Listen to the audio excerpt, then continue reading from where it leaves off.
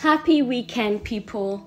Today I'm going to show you how to make Nutella at home with almonds.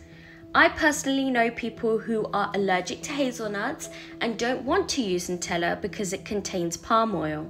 So this alternative is perfect to address all those issues. It tastes amazing and you will never go back to buying Nutella again. So to start, you're going to melt 150 grams of milk chocolate and mix it until smooth. Add one tablespoon of vegetable oil and mix it again.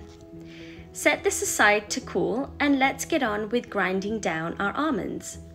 This recipe is great because it's all done in the food processor. Place 150 grams of lightly roasted plain almonds in the food processor. I already roasted and cooled these overnight.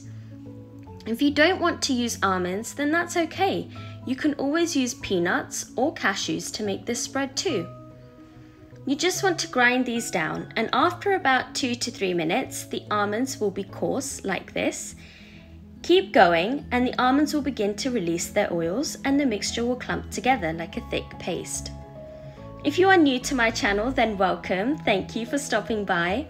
If you like what you see, Please take the time to give this video a big thumbs up, leave a comment down below, and if you haven't done so already, don't forget to subscribe to the channel for more great recipes. As you can see, the mixture will get thicker and clump together. Don't doubt yourself because as soon as the oils have released, you will have a beautiful and smooth almond butter. Scrape down the sides of the food processor and then grind it down once more. Add the cooled melted chocolate a pinch of salt, 2 tablespoons of sugar, and 1 teaspoon of vanilla. Grind it down until well mixed and smooth.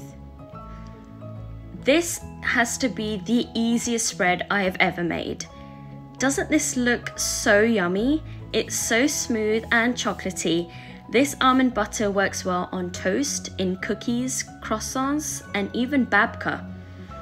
So you are gonna love this almond Nutella and the best part is you made it yourself, you know what's in it, and it's free from any additives or preservatives. Thank you for watching everyone. I hope you liked this video. Don't forget to give it a big thumbs up, leave a comment down below, and if you haven't done so already, don't forget to subscribe to the channel. Now I'm off to go and enjoy this Nutella. I hope you do too. Much love and have a good one. Bye.